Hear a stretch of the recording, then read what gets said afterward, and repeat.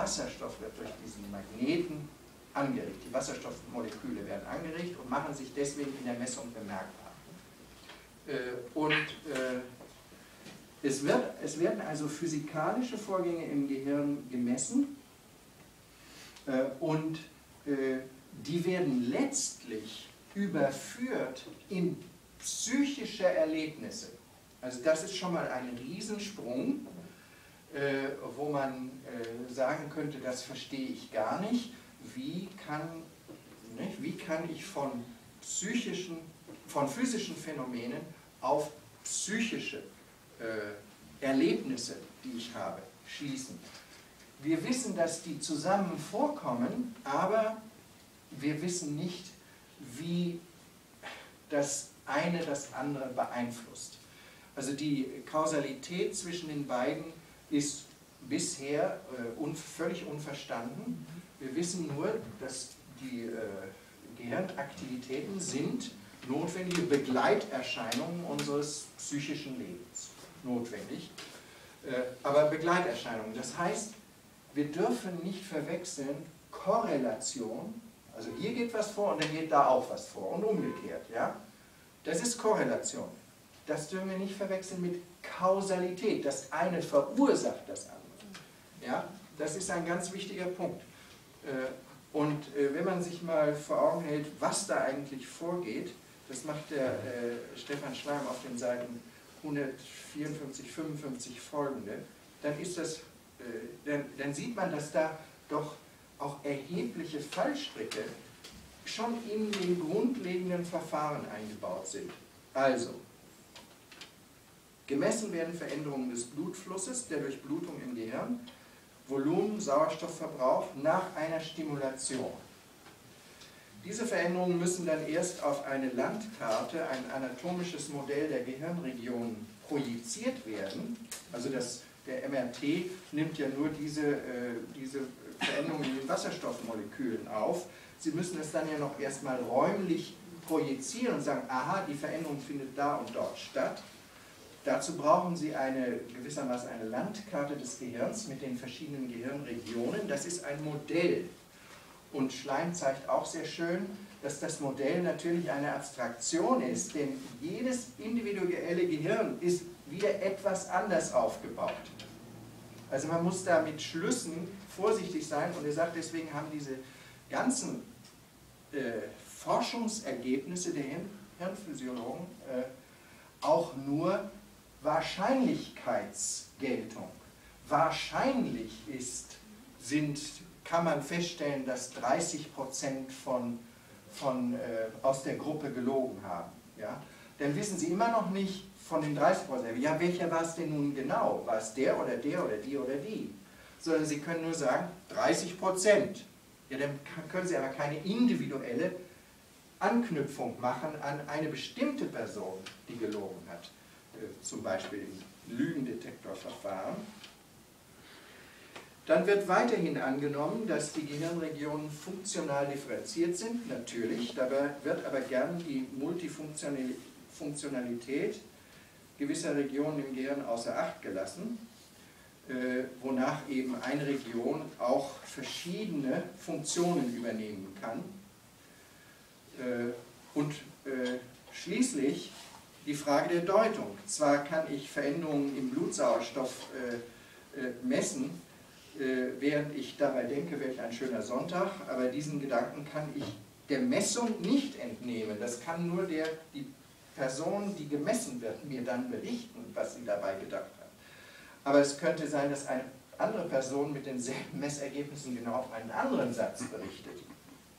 Welche? Kann man, kann man messen, ob es positiv oder negativ ist? Ja, das versuchen Sie natürlich. Nicht? Ob, äh, Sie versuchen, ob jemand simuliert oder ob, das heißt, dann, die, äh, die Annahme ist dann, dass jemand, der lügt oder simuliert, besonders eine Region im Gehirn aktivieren muss, die rationale Kontrolle ausübt, nämlich darüber etwas zurückzuhalten und nicht zu sagen. Und dazu bedarf es also, der, während jemand, der frei spricht, braucht diese rationale Kontrolle nicht, sagt einfach die Wahrheit, äh, und äh, dann ist diese Gehirnregion nicht aktiviert. Also solche Versuche macht man durchaus, äh, aber ganz überzeugen kann einen letztlich diese, diese Versuchsanordnung nicht. Es gibt noch weitere Parameter, dass Versuchspersonen natürlich auch nicht alle gleich sind, sodass bei der Auswahl der Probanden schon Rücksicht genommen werden muss oder gewisse Bedingungen gestellt werden müssen, dass äh, jemand keine Medikamente nimmt oder dies nicht keinen zu hohen Blutdruck hat oder dies nicht hat oder das nicht hat. Müssen schon Leute ausgeschieden werden. Das heißt, es sind schon nicht mehr der typische Durchschnitt der Bevölkerung, sondern es sind ganz ausgewählte Versuchspersonen, was die, die, die Aussagekraft des Forschungsergebnisses auch wieder äh, äh einschränkt eine Frage. Kann man überhaupt die Entschlüsselung des Gehirns losgelöst von der Genomentschlüsselung betreiben? Macht das Sinn? Das weiß ich. Das müssen Sie Herrn Schleim fragen. Ja. ja. Denn, denn, eigentlich müsste das ja ineinander greifen, denke ich. Also stelle ich mir jedenfalls vor. Die Genomentschlüsselung und ja, ja. ich weiß es nicht. Äh, es geht ja bei der gehirnphysiologischen Untersuchung um die Zuordnung von Gehirnaktivitäten zu Regionen und dann die Aussage darüber, welche Funktion erfüllt diese Gehirnregion vorrangig. Ja, aber, ja? aber wenn man doch eigentlich ähm, schon festgelegt sein soll, ja. ja dann äh, denke ja. denk ich, eine ja, die Frage ist fest durch die Genetik. Also ich meine, ich habe jetzt gerade von einem Wissenschaftler gelesen, der sein, sein Genom, äh, sein gesamtes Genom ja. Ja? ja. Gibt es, glaube ich, acht auf dieser Welt. Ne? Tatsächlich, ja. Hm, mehr gibt es ja. Also ich weiß, dass verschiedene, von verschiedenen Insekten und so hat man das Genom vollständig ja. entschlüsselt, vom Menschen aber glaube ich noch nicht. Ne? Doch, äh, ja, also, also man kann es machen lassen. Also der, der hat das ja. ja. Ja, also da bin ich mir nicht sicher. Der Wester will das äh, bei sich machen. Ah ja. Bei sich selbst. Bei sich selber, ja. ja. Mhm. Das ist der, ja, das ist der berühmte amerikanische äh, der damit angefangen hat. Biologe, der, der diese ganze Geschichte initiiert hat, der, der Entschlüsselung des Genoms. Ich möchte Ihnen noch äh, eine Stelle bringen von, aus dem Buch von äh, Stefan Schleim, äh, eine, eine äh, Aussage von Gerhard Roth, dem äh, Neurowissenschaftler, dem Bremer, der sagt folgendes, das limbische System dieses Bewertungsgedächtnis, in dem unsere gesamte Lebenserfahrung abgelegt ist, steuert unser Verhalten, das limbische System. Es entscheidet unter Berücksichtigung der jeweiligen Reize aus der Umwelt und meinem Körper, was ich im nächsten Augenblick tue. Das limbische System, nicht ich. Und interessant ist die Sprache. Ne? Es entscheidet. Das limbische System entscheidet. An sich kann es nicht entscheiden, wenn Moleküle aufeinander prallen oder Synapsen feuern, wird da nichts entschieden. Da ist nur die Frage, welches Signal ist stärker als das andere. Ja. Gut, also entscheidet wahrscheinlich nicht. Er fährt fort. Dies bedeutet, dass die eigentlichen Antriebe unseres Verhaltens aus den Tiefen unseres unbewussten Gedächtnisinhalts und den damit verbundenen Gefühlen und Motiven stammen.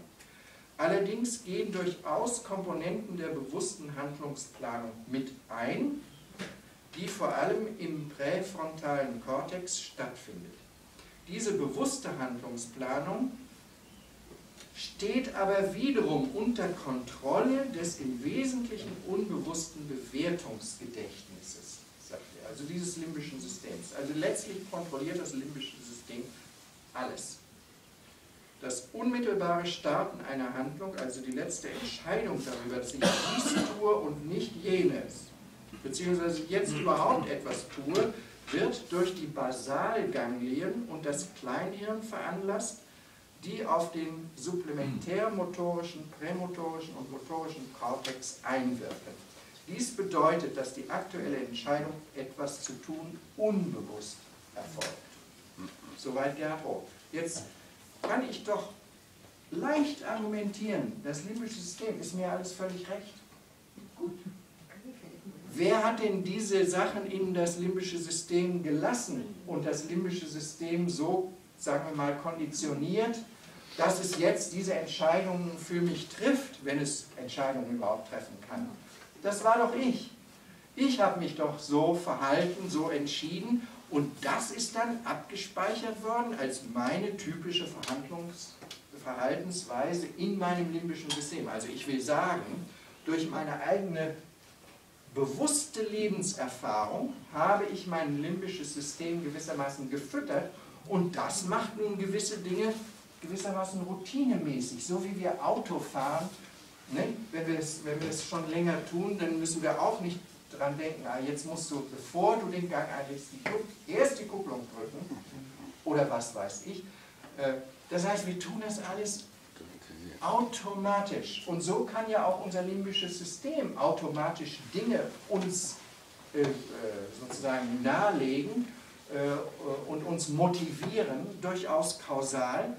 Aber ich kann mir doch immer sagen, das limbische System ist ja nicht ganz ohne meine bewusste, meine bewusste Überlegung äh, zu diesen Vernetzungen gekommen. Wir sprechen ja oft über Intuition und äh, Bauchgefühl und so weiter. Ja, ja, ja. Das ist, äh, das, ist also das. Im Endeffekt diese, wie, wie heißt das, äh, dieses Resonanzmagnettomographie. MRT, ja. Äh, Magnetresonanz. Magnetresonanztomographie. Ja. Ähm, die wird ja nur im Kopf gemacht, aber nicht auch in meinem Bauch, wo, wo es ja eigentlich auch die Hirnnerven geben soll, oder ist das? Na, ich nehme an, dass es schon im Gehirn stattfindet, äh, dass nur das, äh, was dort stattfindet, auch, auch Auswirkungen auf, das, äh, auf den Rest des Körpers hat. Ja, natürlich, äh, natürlich. Denken Sie an Angst, das ist ja ein Erlebnis, äh, das ein psychisches Erlebnis, das hat eine Gehirnseite, einen Aspekt, äh, in dem das Gehirn dann auch tätig ist. Aber es, es bewirkt, dass das, das Erlebnis bewirkt, dass das äh, Gehirn Adrenalin ausschüttet und das strömt durch den ganzen Körper durch. Also es ließe sich noch sehr, sehr viel dazu sagen. Äh, mir aus der äh, philosophischen Tradition äh, läge mir jetzt am nächsten, besonders äh, nachdem äh, ich den Kompat Kompatibilismus hier angeführt habe, also dass man beides nebeneinander äh, haben kann und dass es sich miteinander verträgt. Man kann frei sein, obwohl physiologische und psychische äh, Mechanismen schon determiniert sind. Wir können trotzdem Kontrolle darüber behalten, was wir denn uns zu eigen machen wollen davon. Da läge mir am nächsten unser großer vorkantischer Philosoph Gottfried Wilhelm Leibniz, der über diese Frage unendlich nachgedacht hat, das Freiheitsproblem, Determiniertheit des Willens. Aber äh, dazu sollte man vielleicht eine andere Veranstaltung machen. Okay.